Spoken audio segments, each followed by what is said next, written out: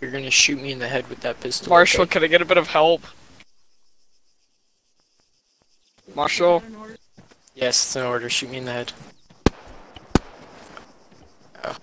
Alright, Hey. Marshall.